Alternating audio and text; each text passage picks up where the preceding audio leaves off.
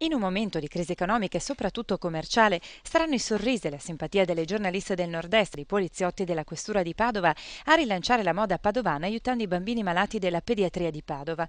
È l'altra faccia della medaglia di Fashion by Night, la tradizionale sfilata dell'Ascom di Padova, organizzata però in via eccezionale quest'anno in collaborazione con Assostampa, Telechiara, la pediatria di Padova e la questura della città del Santo.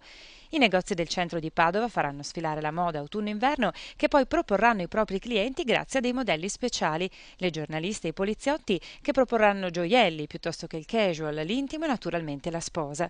Un appuntamento che a detta degli organizzatori da oggi dovrà diventare un appuntamento fisso per la città e che potrebbe essere il volano di altre iniziative simili. Una bella iniziativa e sono felice che trovi ospitalità in uno dei nostri più bei centri recuperati che è appunto il Centro Culturale San Gaetano. Questa iniziativa per valorizzare il commercio come altre che magari potrebbero valorizzare l'artigianato locale e così via. Mettiamo insieme due cose importanti, eh, la moda, la sfilata, il vivere quotidiano, ma soprattutto a favore di un'iniziativa importante che è questo ambulatorio Codice Rosso. Potrà essere una serata, la prima di, di alcune serate importanti, faremo altre iniziative di questo tipo per il bene del sistema.